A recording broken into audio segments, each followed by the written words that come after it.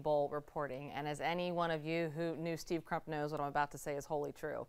He never forgot where he came from. Jamie mentioned that. He grew up in Louisville, Kentucky, in Smoketown, an historically black neighborhood that goes back to the Civil War. New now at 11, more on the impact Crump made at his hometown. Now, fans tonight say they are on their way to the promised land. Journalism is a calling. Steve Crump carried that calling from Eastern Kentucky University to a job in Lexington, Kentucky, to Savannah, Georgia, and eventually landing at WBTV in 1984. But he never, ever forgot his Kentucky roots. He'd return to cover stories, including fellow Louisville native Muhammad Ali's journey, his funeral, and more recently, tornadoes that ripped through the eastern part of the state.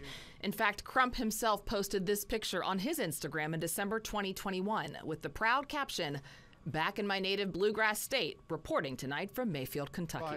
100 Black Men of Louisville. Joining me he also attended the 100 Black Men Gala in 2019 in Louisville and always the Kentucky Derby in May. WBTV sister station Wave 3 is in Louisville. Many of their employees know Steve Crump well.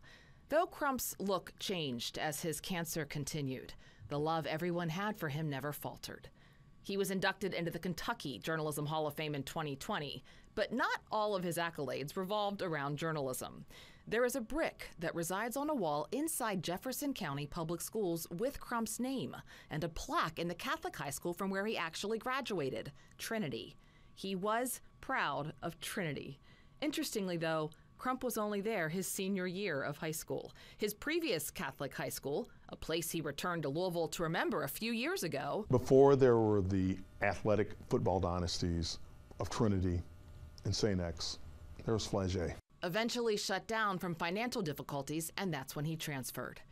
Steve Crump, a man who broke barriers, built bridges, inspired many, taught strangers, remained curious, and full of passion.